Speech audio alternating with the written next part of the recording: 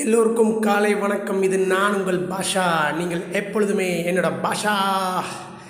இந்த நோய் தொற்று காலத்தில் காலையில் ஏந்து நைட்டு வரைக்கும் நம்ம என்ன செய்யணும் என்ன செய்யக்கூடாது முக்கியமான தகவல்களை உங்களுக்கு தெரிஞ்சிருந்தாலும் உங்களை ஞாபகப்படுத்துறது என்னோட கடமையாக நான் நினைக்கிறேன். உங்கள் பாதுகாப்பு உங்கள் உயிர் உங்கள் சொந்தங்கள் எல்லாமே என்னோடய சொந்தங்கள் தான் உங்கள் நட்பு என் நட்பு தான் எல்லாமே முக்கியமானது மனித நேயம் தான் ஸோ காலையில் நீங்கள் ஏந்துக்க போகிறது தயவு செய்து குறிச்சிங்க அஞ்சு மணிக்கு ஏந்துங்க. அஞ்சு மணி என்பது எனக்கு வானம் பிடிக்காது. இருட்டு இருக்கும். நீ என்ன அஞ்சு மணி சொல்கிறேன்னா நம் முன்னோர்கள் உங்கள் தாய் தந்தையர் எல்லாருமே அஞ்சு மணி தான் ஏந்துப்பாங்க அந்த அந்த கடைப்பிடிப்பு அவங்க பண்ணது எல்லாமே ஒழுக்கத்தை சார்ந்தது. ஸோ அட்லீஸ்ட் நீங்கள் ஆறு மணிக்கெல்லாம் ஏந்துங்க காலையில் ஏந்துட்டு காலை கடமையெல்லாம் முடிச்சுட்டு மொட்டை மாடிக்கு போங்க.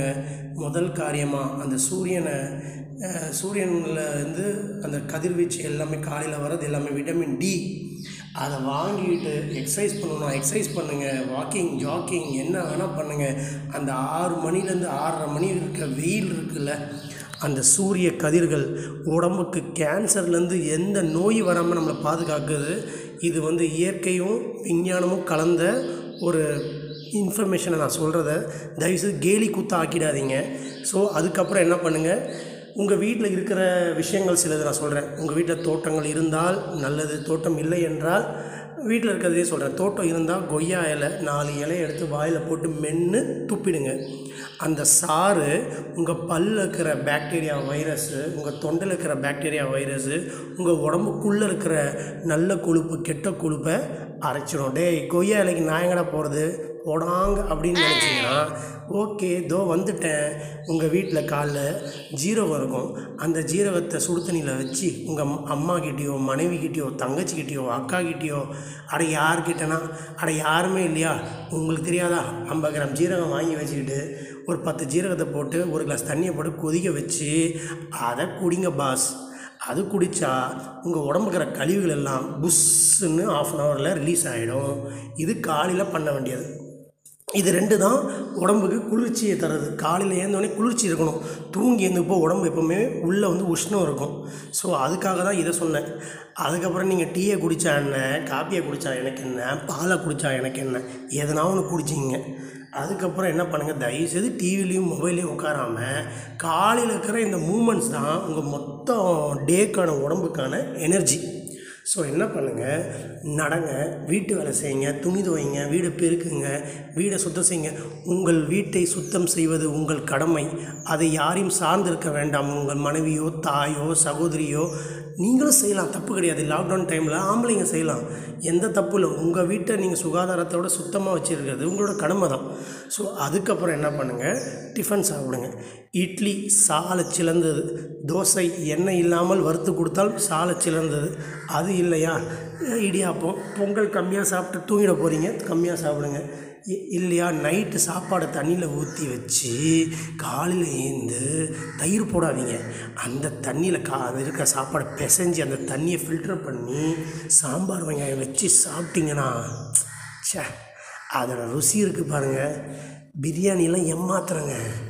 அதுதாங்க நம்மளோட பாரம்பரிய உணவு. அதை சாப்பிடுங்க. நைட்டே கேழ்வரகு கம்பு சாப்பாடுலேயும் தண்ணிலையும் ஊற வச்சு சாப்பிட்டிங்கன்னா அது ஸ்ட்ரென்த்தோ ஸ்ட்ரென்த்து அதெல்லாம் இந்த காலத்து ஆளுங்க செய்ய மாட்டீங்க. அதை நான் சொன்னால் நீ ரொம்ப பழைய கொட்டை போட்ட கிழவ மாதிரின்னு நினச்சிப்பீங்க. வேண்டாம். ஸோ இதை சாப்பிட்டுட்டு பதினொரு மணிக்கு என்ன பண்ணுங்கள் ஒரு சுண்டல் கருப்பு சுண்டல் வெள்ளை சுண்டல் பச்சை சுண்டல் விதவிதமாக டிசைன்ஸாக கிடையாது நான் ஒரு சுண்டலை ஒரு அரை கப்பு எதுவுமே அளவுக்கு மீறினால் அமிர்தமும் நஞ்சு. ஸோ அது சாப்பிடுங்க. அதுக்கப்புறம் லஞ்சு வெட்டோ வெட்டு என்ன வேணால் வெட்டுங்க. அதை பற்றி கவலையே கிடையாதுங்க. மோர் மட்டும் வேண்டாம். இந்த நோய் தொற்று காலத்தில் உடம்பை குளிர்ச்சியாக வைப்பது டேஞ்சர் தயவு செய்து மோரை குடிக்காதீங்க மோரை சாப்பிடாதீங்க. தயிர் வேணால் கொஞ்சம் யூஸ் பண்ணிங்க. ஃப்ரிட்ஜில் வச்ச தயிர் வேண்டாம். அதில் பேக்டீரியா நல்ல பாக்டீரியா அதிகமாக இருக்கும். தொண்டையை என்ன மாதிரி ஆகிடும் அதனால் அந்த வேலை செய்யாதீங்க. ரசம் வாவ் மிளகு ரசம் ஓ தக்காளி ரசம் விட்டமின் சி வா அது மாதிரி எதனா சாப்பிடுங்க பாஸ் எது வேணால் சாப்பிடுங்க. அப்புறம் நான் எல்லாத்தையும் சொல்கிறீங்கன்னா நீனா டயட்டிஷியனாக கேட்டுருவீங்க கண்டிப்பாக கேட்பீங்க எனக்கு தெரியும். ஏன்னா என்னை திட்டுறது தான் உங்களோட வேலையை. ஸோ விட்டுருங்க தூங்குங்க. மத்தியானம் தூங்குறது உடம்புக்கு இப்போதைக்கு நல்லது. எவ்வளோ தூங்குறீங்களோ உங்கள் உடம்புல இருக்கிற எதிர்ப்பு சக்தி வளரும். அப்போ ஏன்டா அஞ்சு மணிக்கு எழுப்புனேன் டேய் அதெல்லாம் வந்து சூரிய நமஸ்காரம் சூரியத்தை பார்த்து உடம்பை ஏற்றுக்கிறது தான் நம்ம உடம்புக்கு இம்பார்ட்டன்ட் அந்த டைமில் தூங்காதீங்க பாஸ் மத்தியானம் சாப்பிட்டுட்டு ஒன் ஹவர் தூங்குறது நம்ம உடம்புக்கு நல்லது. ஈவினிங் ஏந்துங்க டீ காஃபி அதெல்லாம் குடிங்க. உட்காந்துட்டே இருக்காதீங்க பாஸ் உடம்புல ஏறி போயிடும். கொழுப்பு வாக்கிங் போங்க மொட்டை மாடிக்கு போங்க நடங்க குதிங்க எதனா பண்ணிகிட்டே இருங்க. ஸ்கிப்பிங் பண்ண முடியுமா? பண்ணுங்க. ஸ்கிப்பிங் பண்ணுறதுனால உங்கள் உடம்பு ஹார்ட் பீட்டு நல்லா பம்பிங் ஆகி ரத்த ஓட்டம் எல்லா பார்ட்ஸுக்கும் பரவும். அதனால் இளமை தாண்டவம் ஆடும். இதெல்லாம் விட்டுட்டிங்களா? நைட்டு மட்டும் பத்து மணிக்கு நைட்லாம் சாப்பிடாதீங்க பாஸ் ஏழரை எட்டுக்கெலாம் இப்போ சாப்பிட்ருங்க காரணம் என்னென்னா நம்ம வீட்டிலே இருக்கிறதுனால நம்மளுக்கு வந்து இடைவேளை இருக்கணும். உணவு இடைவேளை தின்னுக்கிட்டே இருப்போம். ரிலீஸ் பண்ணிக்கிட்டே இருப்போம். உடம்பு ஏறிக்கிட்டே இருக்கும். ஸோ ஏர்லி டின்னர் வந்து சாப்பிடுங்க ஏழரை எட்டு மணிக்கெலாம் எதனா ஒன்று சாப்பிடுங்க. எண்ணெய் பொருள் வேண்டாம் வறுத்த பொருள் வேண்டாம். இரவில். லைட்டாக சாப்பிட்டா மிக நல்லது. ரெண்டு இட்லி மூணு இட்லி ரெண்டு சப்பாத்தி. அதுவும் சுட்ட சப்பாத்தி. சுட்ட சப்பாத்தினா என்னென்னா புல்கா. என் சேனல்லே புல்கா எப்படி செய்கிறதுங்க இருக்கு அதை வேணால் பார்த்துக்குங்க. ஸோ இதெல்லாம் சொல்கிறதெல்லாம் செஞ்சிங்க. உங்கள் உடம்புக்கு ரொம்ப நல்லது. நீங்கள் நல்லா இருக்கணும். அதுதான் எனக்கு தேவை. என் தொண்டை ஒன்றும் நார்மலே ஆகலை ஐயோ காமெடியாக இருக்குது பாஸ். இது நான் உங்கள் பாஷா.